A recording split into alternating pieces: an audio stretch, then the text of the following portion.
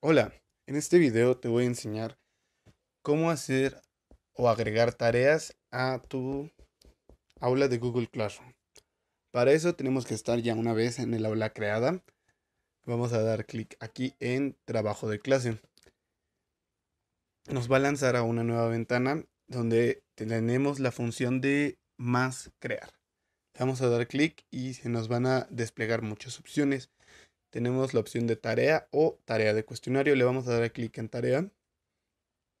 Nos va a lanzar esta ventana emergente en la cual el título vamos a colocar lo que sería el nombre de la tarea y en instrucciones vamos a desarrollar lo que queremos que el alumno o la alumna desarrolle en esta tarea.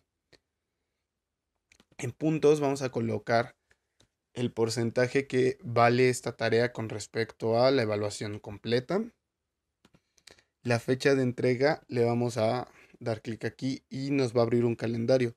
Nosotros vamos a poder elegir el día exacto que queramos y la hora también.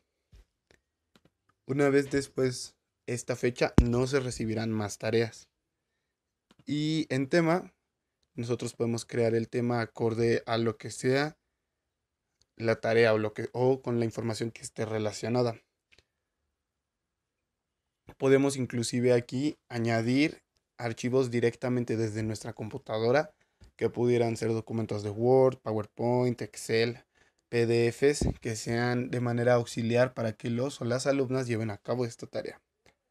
Una vez acabado le vamos a dar clic aquí en crear tarea y la tarea habrá quedado guardada en nuestro tablón y los alumnos y las alumnas podrán verlo. Esto es todo por el video. Muchas gracias.